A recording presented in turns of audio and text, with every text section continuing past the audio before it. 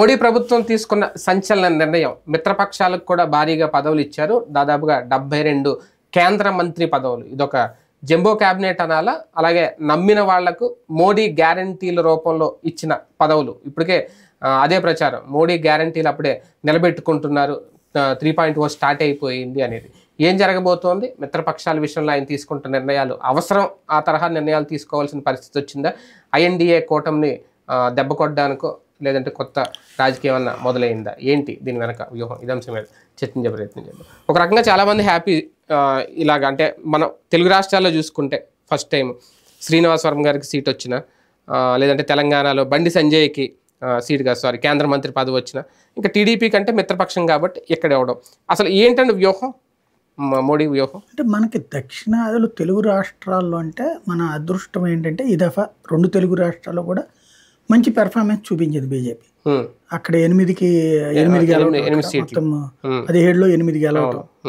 అంటే దాదాపు fifty percent గెలిచింది ఒక ఎంఐఎం తీసేస్తే పదహారు ఇప్పుడు ఎంఐఎం ఫిక్స్డ్ సీట్ కదా. పదహారులో ఫిఫ్టీ ఫిఫ్టీ వచ్చినాయి.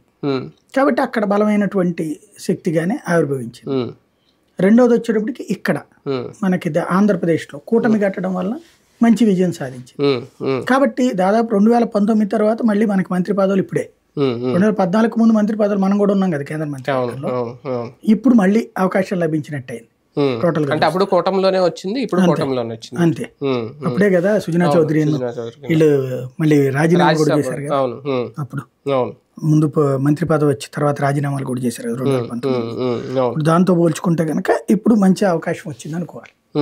అంటే పెర్ఫార్మెన్స్ బేస్డా ఇక్కడ తీసుకున్నారా?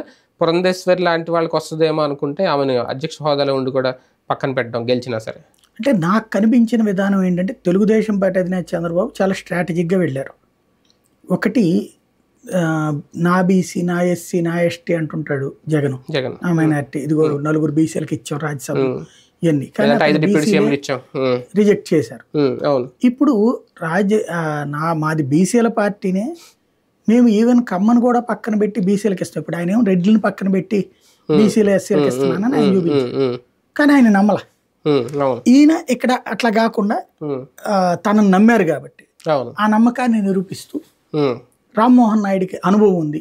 మూడు సార్లు వరుసపెట్టి గెలిచినటువంటి హ్యాట్రిక్ కొట్టినోడు. పిన్న వయస్కుడు. ఇరవై ఐదేళ్ళకే రాజకీయాల్లోకి అదే ఎంపీగా పోటీ చేయడం. రెండు సార్లు అప్పుడు గెలవడం ఇప్పుడు మూడోసారి. లాంగ్వేజెస్ మీద కమాండ్. కమాండ్ అతన్ని ఎంపిక చేశారు. రెండోది పెమసాని చంద్రశేఖర్. ఒకటి తనకి లాంగ్వేజ్ పరంగా command తో పాటుగా. నేషనల్ ఇంటర్నేషనల్ రిలేషన్స్లో మంచి కాంటాక్ట్స్ ఉన్నాయి. కాబట్టి అతన్ని అక్కడ తీసుకున్నారు ఆర్థిక పరంగా కూడా బలమైన అంటే ఆర్థిక పరంగా మంత్రివర్గంతో పెద్ద అవసరం ఉండదు? ఉండదా హ్మ్. బేసిక్గా ఆ, మంత్రివర్గంలో ఉండేటటువంటి వాళ్ళకి కమ్యూనికేషన్ స్కిల్స్ బాగుండాలి. ఇదివరకు తెలుగుదేశానికి అది మైనస్ అయ్యేది. Communication skills. ఇప్పుడు ఇద్దరు కమ్యూనికేషన్ స్కిల్స్ ఉన్న వాళ్ళని తీసుకొచ్చారు. బాబు గారు. ఈవెన్ రెండు వేల పద్నాలుగులో కూడా కమ్యూనికేషన్ స్కిల్స్ బేస్ చేసుకుని ఇచ్చారు. సుజనా చౌదరి అప్పుడు ఆ కోణంలో నుంచినే కదా అశోక్ గజపతి రాజు సుజనా చౌదరి ఇద్దరు కమ్యూనికేషన్ స్కిల్స్ ఉన్న వాళ్ళని తీసుకొచ్చి పెట్టారు. తద్వారా అప్పుడు కూడా ఏంటి ఆయనేమో అశోక్ గజపతి రాజు రాజులు కదా ఆయనకి మంచిది ఇచ్చారు కదా. అప్పుడు. సహాయ మంత్రిగా సుజనా చౌదరి వచ్చారు కదా. అక్కడ. ఇద్దరు ఎవరి పని వాళ్ళు చేశారు కదా తెలుగుదేశానికి ఆంధ్రకి తేవాల్సినవి అవును ఇప్పుడు ఆ విధంగా తేగలుగుతారు. రెండో ఇటు ఆయన చేసింది బీజేపీ స్ట్రాటజీ కనబడుతోందల్లా వచ్చి వలస వచ్చినటువంటి వాళ్ళకి సీట్ ఇచ్చాం. గెలిచారు మంచి పొజిషన్ వచ్చింది. అంటే ఆ- స్థానంలో వాళ్ళని అయితే రికగ్నైజ్ చేశాం కదా. మరి పార్టీ నమ్ముకుని ఉన్న వాళ్ళకి. మంత్రి పదవులు ఇద్దాం అనుకున్నట్టు ఉంది. తెలంగాణలో ఉంది ఆ, డికేఆర్ నాను ఈటెల రాజేందరు. కొండా విశ్వేశ్వరరెడ్డి ఇట్లా చాలా పేర్లు వినబడ్డాయి హ్మ్. అలా కాకుండా బండి సంజయ్ కిషన్ రెడ్డి. కిషన్ రెడ్డి పార్టీ కార్యాలయ కార్యకర్త దగ్గర నుంచి ఉన్నాడు కార్యాలయ ఇన్ఛార్జ్ దగ్గర నుంచి బీజేపీ. పార్టీని నమ్ముకున్నటువంటి కానీ కిషన్ రెడ్డి విషయంలో ఏంటి వరుసగా ఇవ్వడం మొన్నటి వరకు కూడా ఆయనకి ఉన్న కాబట్టి సహాయ శాఖలో ఉన్నారు ఇప్పుడు బ్రాండ్ అంబాసిడర్ అతను బీజేపీకి. అంటే అవును. తెలంగాణ బీజేపీకి బ్రాండ్ అంబాసిడర్. ఇంకా ఉన్నారు కదా గెలిచిన ఎంపీలు కూడా ఉన్నారు సీనియర్లు ఉన్నారు ఇంకా వేరే పార్టీ నుంచి వచ్చిన అసలైన ఇప్పుడు నరేంద్ర మోడీతో పాటు చాలా మంది ఉంటారు సీనియర్లు. కానీ నరేంద్ర మోడీని ఎందుకు పెట్టారు. పార్టీని నడిపించగలిగిన పార్టీలో చేరి గెలిచిన వాళ్ళు కూడా ఇప్పుడు డి కేరళ లాంటి వాళ్ళు ఉన్నారు. ఆమె గెలిచారు ఆమె ఇంతకుముందు మంత్రిగా చేశారు రాష్ట్ర కేబినెట్లో చేశారు అనుకోండి అర్హత ఉంది కదా అని అనేది నేను అంటుంది అదే.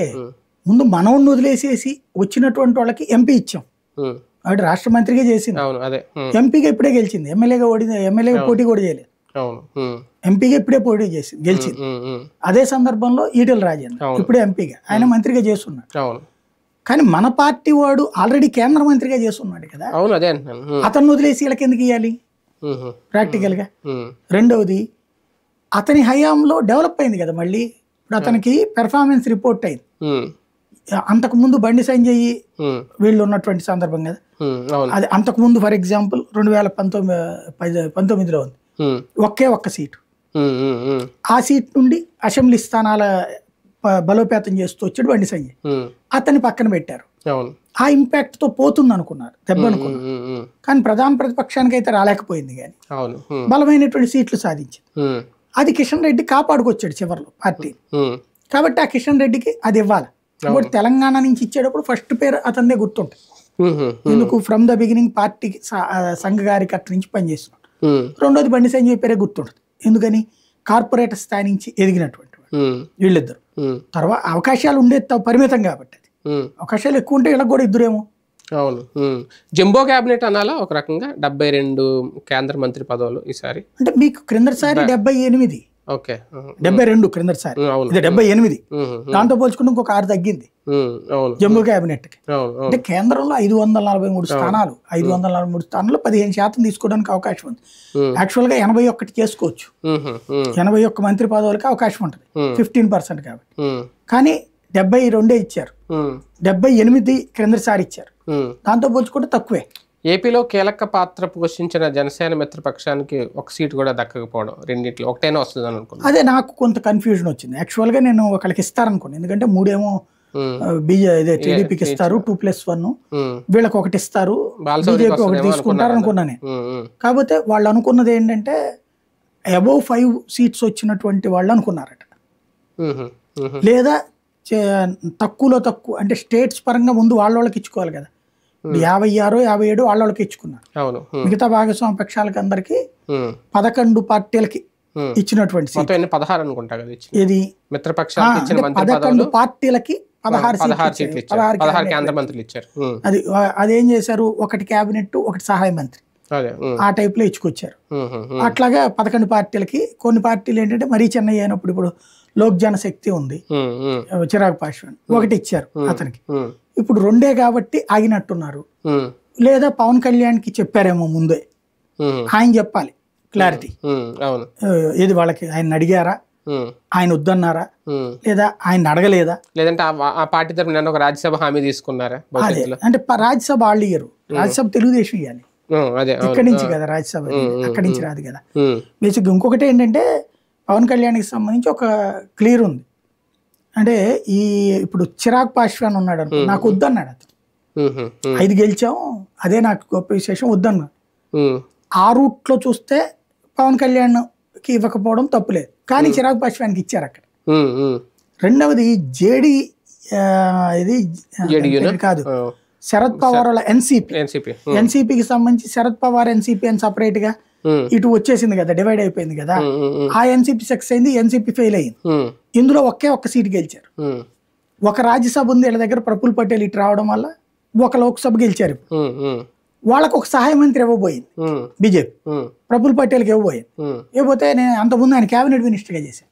నేను క్యాబినెట్ మినిస్టర్ చేసిన సహాయ మంత్రిగా చేయడం ఎందుకులే? వదిలేమన్నాడు ఉమ్, అంటే ఒకటి గెలిచిన వాళ్ళకి ఇస్తూ ఇస్తానికి ప్రిపేర్ అయ్యి. రెండు గెలిచిన వాళ్ళకి ఎందుకు ఇవ్వలేదు? అన్నట్టు ఒక అయోమయం ఉంది. అవును. సౌత్లో బలపడాలనుకుంటున్న భారతీయ జనతా పార్టీ వ్యూహంలో ఇది ఒక భాగమా? తెలంగాణ ఆంధ్రప్రదేశ్కి ఒక రకంగా కేంద్ర మంత్రి పదవుల రూపంలో వరాలు కురిపించడం. అట్లే కాదు నీ పెర్ఫార్మెన్స్ని బట్టి ఉంటుంది కదా సార్. నీ దగ్గర ఎవరు లేరు. కాబట్టి ఇవ్వలేదు. ఈ దఫా ఎంతమంది వచ్చారు? కాబట్టి ఇచ్చారు. ఇప్పుడు కేరళలో సురేష్ గోపి గెలిచాడు. కేరళ జీవితంలో ఒకే ఒక్క సీట్ వచ్చింది. అంతకుముందు ఇప్పుడు ఓ రాజగోపాల్ ఎమ్మెల్యే గెలిచాడు. టూ టైమ్స్ బ్యాక్ ఏదో ఒకసారి గెలిచాడు అందు అప్పుడు అతనికి ఏం మంత్రివర్గంలో ఛాన్స్ ఉండదు కదా. తర్వాత ఎంపీగా పోతా వచ్చాడు. సురేష్ గోపి హీరో వచ్చాడు అప్పటికి యాక్టర్ అతను గెలిచాడు. కాబట్టి అతనికి ఇచ్చారు. ఒకటే గెలిచినా కూడా. అక్కడ ఈక్వేషన్ ఏంటంటే స్టేట్ రిప్రజెంటేషన్ ఉండాలని చూస్తారు. ఇప్పుడు దేశవ్యాప్తంగా ఇరవై నాలుగు రాష్ట్రాల్లో ఇచ్చారు. ఇంకా రెండు మూడు రాష్ట్రాలే ఇబ్బంది వాళ్ళు. అది కూడా చాలా చిన్నవి. గోవా లాంటి చోట్ల అట్లాంటి చోట ఇవ్వలేదని. తెలంగాణ ఆంధ్రప్రదేశ్లో అటు బండి సంజయ్ ఇటు శ్రీనివాస్ వర్మ బండి సంజయ్ అంటే పోనీ ఈయన ఎంపీగా ఫస్ట్ టైం ఆయన ఫస్ట్ టైం కాదనుకోండి. కానీ కేంద్ర మంత్రిగా అడుగుపెట్టడం అయితే ఇద్దరు ఫస్ట్ టైమే వీళ్ళ అదృష్టం అనుకోవాలా? పార్టీని నమ్ముకొని ఉంటే భారతీయ జనతా పార్టీ ఇలాంటి అవకాశాలు ఇస్తారు అని ఒక సంకేతం. భారతీయ జనతా పార్టీ నమ్ముకుని ఉంటే కార్యకర్త స్థాయి వాళ్ళకి అవకాశాలు ఎక్కువ వస్తాయి అన్నానికి. ఎందుకంటే శ్రీనివాస్ వర్మ ఇప్పుడు సంజయ్కి పక్కన పెడతాం ముప్పై. ఐదేళ్ళు ఎంతో అయిందంట కదా ముప్పై రెండేళ్ళు. ముప్పై ఏళ్ళ పాటు పార్టీకి సంబంధించిన క్రియాశీల కార్యకర్తగా చేశాడు. ఒకప్పుడు కమ్యూనిస్టు. విద్యార్థి సంఘాల దశలో. ఓకే. ఆ తర్వాత బీజేపీలో చేరి భీమవరం కౌన్సిలర్గా కూడా పనిచేశాడు ఇంతకుముందు. కౌన్సిలర్ స్థాయిలో కూడా పనిచేశాడు. అది చేసి కూడా ఇరవై ఏళ్ళు పదేళ్ళు పదిహేను ఏళ్ళు అయినట్టున్నది అతనికి వాస్తవంగా సీటు దక్కినప్పుడు చాలా తతంగా. అవును. మనమే ఫస్ట్ ప్రస్తావించాం. అతనికి. వచ్చే అవకాశం ఉంది ఎందుకంటే అక్కడ వీళ్ళందరికి ఇస్తున్నప్పుడు కార్యకర్తల తీవ్ర అసంతృప్తి రేగింది. ముందు అసలు వాళ్ళు తీర్మానమే వద్దని చెప్పారు పొత్తు. టీడీపీ వాళ్ళ? బీజేపీ నుంచేనా? బీజేపీలో కార్యకర్తలు ముందు పొత్తే వద్దన్నారు పొత్తు పెట్టుకుంది అధిష్టానం. చివరికి సీట్ల పరంగా చూస్తే పోనీ కార్యకర్తలకు వద్దంటే వాళ్ళని తీసేసి బయట నుంచి వచ్చిన వాళ్ళకి ఎక్కువ ఇచ్చారు. ఈవెన్ పార్లమెంట్ స్థానాలు ఆరు అయితే ఆరులో ఐదు బయట నుంచి వచ్చిన వాళ్ళకే కదా. సో పురంధరేశ్వర్ కానీ కిరణ్ కుమార్ రెడ్డి సీఎం రమేష్. తర్వాత అతని పేరేంటి ఇప్పుడు? నల్లారి కిరణ్ ఆ, కుమార్ నల్ల అదే తర్వాత నా గీత వరప్రసాద్ వరప్రసాద్. వీళ్ళందరూ బయట నుంచి వచ్చిన వాళ్ళే. అవును. అప్పుడు అది ఆర్ఎస్ఎస్ ఆస్తమందామా ఉమ్, ఉమ్, లేకపోతే పార్టీని ఆలోచించిందా? కార్యకర్తల కోపాన్ని గమనించాక కార్యకర్తల నుండి ఎదిగినోడికి ఇతనికి ఒక్కడికే ఇచ్చారు. ఇతనికి ఫుల్ ప్లేటెడ్ సపోర్ట్ చివరిలో ఇతను మళ్ళీ ఏమైంది? ఇతను తీసుకున్నాక మళ్ళీ రఘురామకృష్ణరాజు ప్రెషర్ చేయడం చంద్రబాబుని ఆయన ఆపిచ్చే ప్రయత్నం చేయడం. ఈ సీట్ అన్నా కూడా అధినాయకత్వం ఒప్పుకోలే. ఈ సీటు మార్చబోమని చెప్పేసి. ఆ తర్వాత వాళ్ళిద్దరూ కూడా ఈయన వెంట పెట్టుకుని తిరిగారు. పవన్ కళ్యాణ్ చంద్రబాబు కూడా. ఫైనల్గా ఆయన విజయం సాధించిన ఏకంగా కేంద్ర మంత్రి అయిపోయారు. అదే కదా అంటే అన్ని అనూహ్యమైంది అంటే బీజేపీలో ఆ మధ్యన కొంత వ్యతిరేకత ఏలూరు ఆయన పేరు ఏదో ఏదో చౌదరి. తప్పరాజు తప్పరాజు ఆయనకి ఏదో వస్తుంది అనుకుంటే తర్వాత చాలా మంది డైరెక్ట్గా ఆర్ఎస్ఎస్ చీఫ్లు అది ఫోన్ చేసి ఏదో హడావుడ్ చేశారంట. మేము ఎప్పటి నుంచో ఉన్నాం మీరు ఇవ్వలేదని. అటువంటి వ్యతిరేకను పో- వ్యతిరేకతను పోగొట్టుకునే ప్రయత్నం కూడా ఇది అంటే అట్లేం లేదు. బేసిక్గా పార్టీ ఈసారి తీసుకున్న నిర్ణయమే పార్టీ నమ్ముకుని ఉన్నటువంటి వాళ్ళకి అన్నది. అందుకని బండి సంజయ్కి అక్కడ కిషన్ రెడ్డికి ఇవ్వడం ఇక్కడ శ్రీనివాస్ వర్మకి ఇవ్వడం. రకంగా పార్టీ తనను తాను గెలిపించుకుంది అవును. ఇంతవరకు పార్టీని కార్యకర్తలు గెలిపించారు కూటమి గెలిపించింది. ఇప్పుడు పార్టీ తనను తాను గెలిపించుకుంది అనమాట ఉమ్. ఆంధ్రప్రదేశ్కి వీళ్ళ ద్వారా వచ్చే ఇది ఏదైనా ఉందా? ప్రత్యేక వరాలు తీసుకురావడం కానీ మంత్రిగా ఏం శాఖ ఇస్తారో చూస్తే దాన్ని బట్టి ఉంటుంది. ఆ శాఖకి సంబంధించి ఏం తెస్తారు ఆంధ్రాకన్నది ఉమ్, ఎప్పటి నుంచో డిపెండబుల్ గవర్నమెంట్ కనుక వస్తే హోదా విషయంలో ఏం మాట్లాడతారు అనేది. ఆ ప్రస్తావన ఏమన్నా వచ్చే అవకాశం ఉంటుందా? చూడాలి. అది రాబోయే రోజుల్లో వీళ్ళు అడుగుతారా? లేదా అడగకుండా ఇస్తారు. ఇప్పుడు కొన్ని నేషనల్ ఇతను ఎవరు? ఆదిత్య థాకరే మొన్న ఒక రెచ్చగొట్టే స్టేట్మెంట్ ఇచ్చారు తెలివిగా. మీరు అంతర్లీనంగా బీహార్కి నువ్వు ఆంధ్రాకి ప్యాకేజ్ ఇచ్చేస్తున్నట్టు మాకు తెలిసింది. అది ఇచ్చేది ఏదో బహిరంగంగా ఇవ్వండి నాలుగు గదులు కూడల్లో కాదు అని. అంటే వాళ్ళకి కావాలనా? ఆ, అలా అంటే ఇస్తే అట్లా ఇస్తే అప్పుడు అన్ని రాష్ట్రాల వాళ్ళని రెచ్చగొట్టచ్చు. ఇప్పుడు బ- ఓప ఓపెన్గా హోదా అన్నది ఆంధ్రప్రదేశ్కి ఇస్తే దేశవ్యాప్తంగా నష్టం. ఎందుకు? అన్ని రాష్ట్రాలు మాకు కావాలంటే. అన్ని రాష్ట్రాలకి ఇచ్చాక ఇంకా హోదా ఎందుకు? నెంబర్ వన్ దాని బదులు నేను అనుకోవడం అయితే ఈ ట్యాక్స్ ఎగ్జంప్షన్ ఏదైతే లాస్ట్ ట్రిప్ ఇచ్చారో thirty plus ten plus ten ఇప్పుడు ఏకంగా ఫిఫ్టీ పర్సెంట్ సిక్స్టీ పర్సెంట్ కంపెనీలకు ఇస్తారేమో అనుకుంటున్నాను. అంటే ఎవరు అడగాలి ఎవరు సాధించాలి బాబు గారు అడగాల? నిన్న రామ్మోహన్ నాయుడు స్టేట్మెంట్ ఇచ్చాడు కదా రైల్వే జోను ప్రత్యేక హోదా. దానికి బేస్డ్గా ప్యాకేజీ కానీ ఏదైనా మాట్లాడతామని. అటే అవ్వచ్చు. అమరావతి నిధులు ఇట్లాంటివన్నీ. రైట్ చూద్దాం. మొత్తానికి ఆంధ్రప్రదేశ్కి కలిసి వచ్చింది ఏంటి అనేది కూడా అలాగే మోడీ త్రీ పాయింట్ స్టార్ట్ అయ్యింది. ఆయన ఇస్తానన్న వాళ్ళకి పదవులు ఇవ్వడం. పార్టీని నమ్ముకుని ఉన్న వాళ్ళకి మొదటి నుంచి దాదాపు ముప్పై ఏళ్ళ పైనుంచి జెండా మోసిన వాళ్ళకి లక్కీ అని అనుకోవాలి? అదృష్టం కలిసి వచ్చింది అనుకోవాలి? చూద్దాం రేపు పొద్దున్న సౌత్లో ఎంతవరకు బీజేపీ బలోపేతానికి ఈ నిర్ణయాలన్నీ ఉపయోగపడతాయి.